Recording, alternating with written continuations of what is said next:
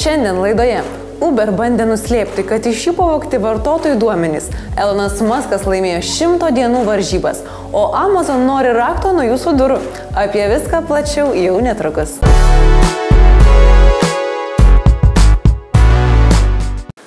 Skandalas! Bendrovai Uber nesiniai prisipažino prieš metus nuslėpusi programišių įsilaužimą, kai buvo pavogti 57 milijonų žmonių duomenys. Savo vartotojams nepranešti apie tokį įsilaužimą įtin žulu.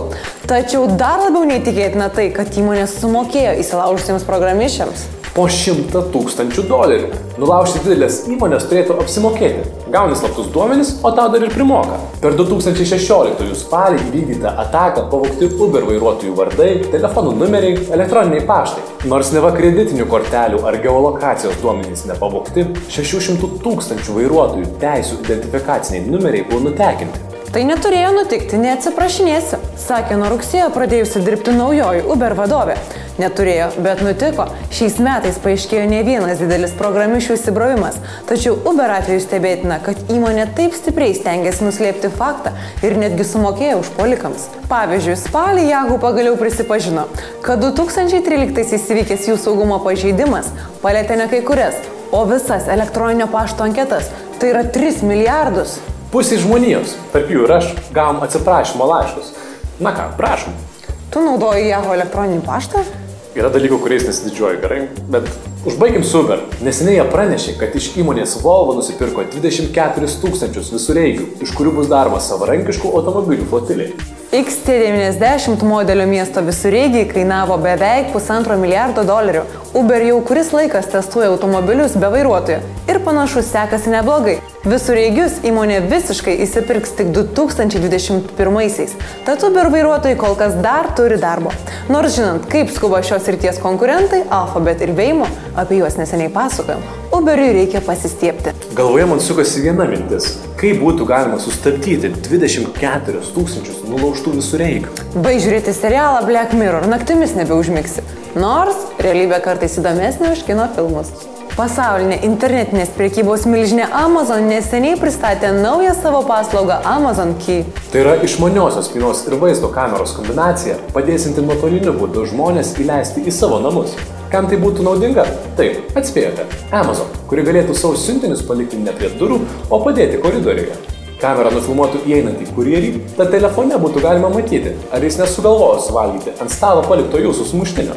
Pasak Amazon, nuotolinis namų atrakinimas naudingas ir kitais atvejais. Pavyzdžiui, norint įleisti namus tvarkytojus ar tiesiog kambarioką, kuris pamiršo raktus. Nauja spina ir kamera kainuos tik 250 dolerių. Iš esmės, sumokė Amazon, kad ateityje galėtų mokėti jai dar daugiau. Įmonė žaidžia rizikingai. Jei kas nors nulaužtų mano namų spyną, tikrai neapsidžiaugčiau.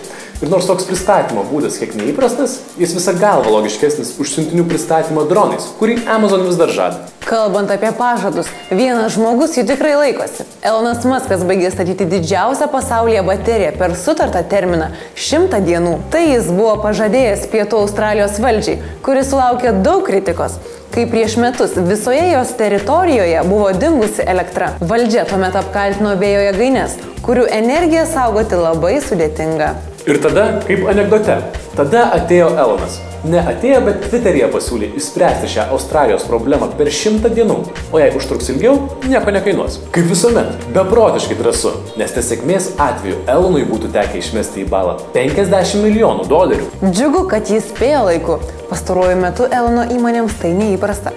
Ir nors baterijas dar reikės testuoti ir prijungti prie tinklo, planuojama, kad jos talpinančios 100 MW per parą elektrą galėtų aprūpinti 8000 namų. Žinant stichišką Australijos orą, baterijos tikrai bus panaudotos. Pabaigoje idėja kalėdoms. Nuo telefono net limpančiam šeimos nariui padovanokite pakaitinį telefoną, kuris nedaro nieko.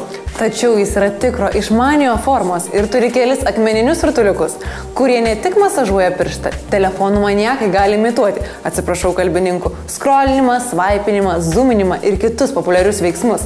Pasak kuriejų toks telefonas turi terapinių savybių. Kainos net neišduosiu, kad nesugalvotumėte pirkti. Visgi laiko iki kalėdų dar yra, jei norisi sunėnui perduoti subtilę žinutę apie galimą jo priklausomybę, Grėkite kaltą, medžio gabaliuką, kelis akmenukus ir valia. Pasigriep tą kaltą, aš jau užsisakinėjau. Iki kitos savaitės.